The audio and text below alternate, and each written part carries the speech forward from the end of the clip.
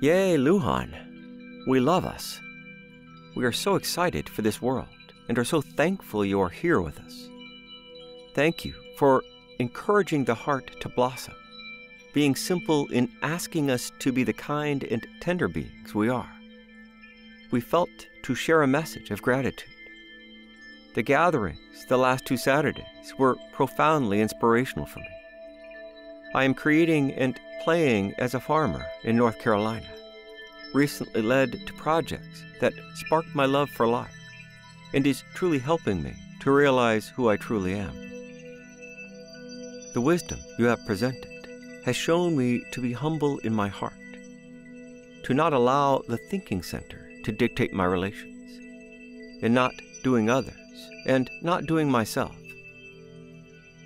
I am also able to commune with the land and plants in a greater capacity. I am able to connect to them as I connect with the long channels of my own body. There is no judgments there, only communication of co creation and loving support. By dropping knowledge and a perceived knowing, I am able to listen in a new way, without overlaying desires upon the truth of the situation. This way of being is made obvious when as motives are regulated.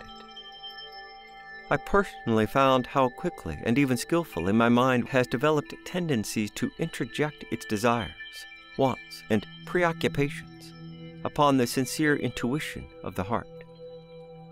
As I learned to see this as doing and knowing myself, I came to simply be. It is truly a prayerful life. My duties as an adult are accomplished with no goals to change what is. I am simply present arterially positioned and able to participate with what is right in front of me. I find myself in service to what arises from existence, rather than dictating my will upon it. It is simple. Enter the heart. Bring the eyes and ears within to witness yourself. We will see the unreasonable desires of our programmed tendencies and the reasonable desires of the heart. May all beings know the causes to joy and what it is to be in service to silence. We are continuing to enjoy the beauty of your books and would be so grateful to share a time and space with you someday.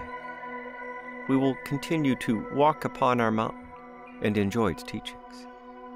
With great gratitude and love, Benjamin.